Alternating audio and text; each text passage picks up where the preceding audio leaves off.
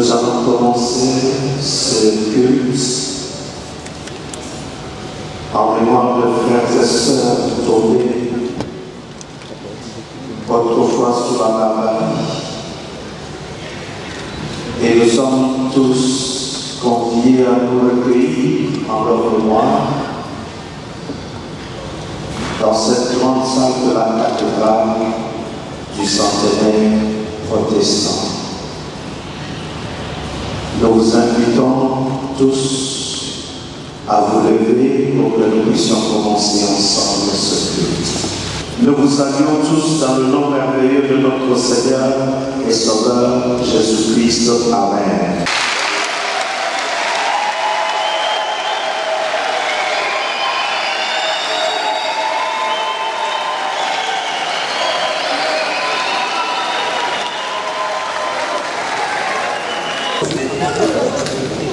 Voudrais commencer par remercier la hiérarchie de l'Église qui nous reçoit.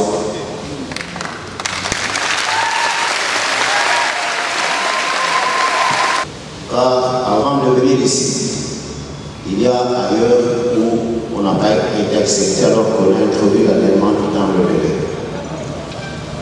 Je voudrais remercier chacun, chacune d'entre vous qui est venu ici dans ces cultes.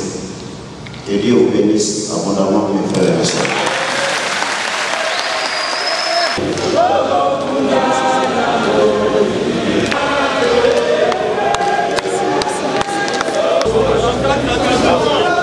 Chers amis, chers amis de la presse, je note qu'il y a eu plus de peur que de mal par rapport à, la messe occulte que nous avons eu à solliciter pour commémorer le huitième anniversaire du décès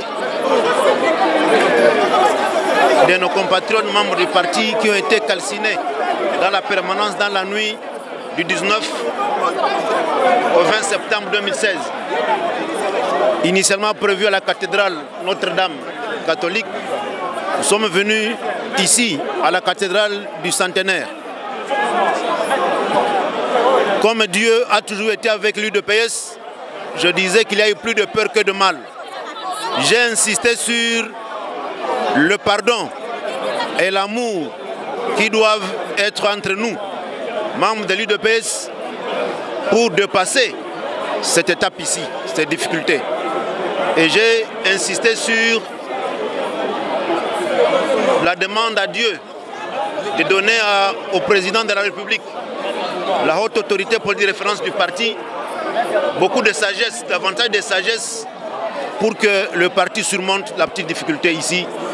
Moi, en tant que secrétaire général d'intérim, je ne ménagerai aucun effort pour y parvenir et faciliter la tâche.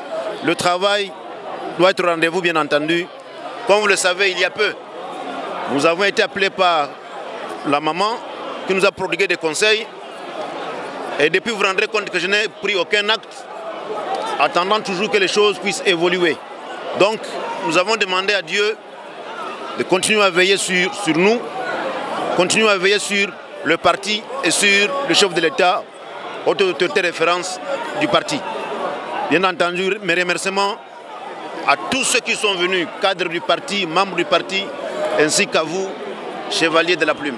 Merci beaucoup.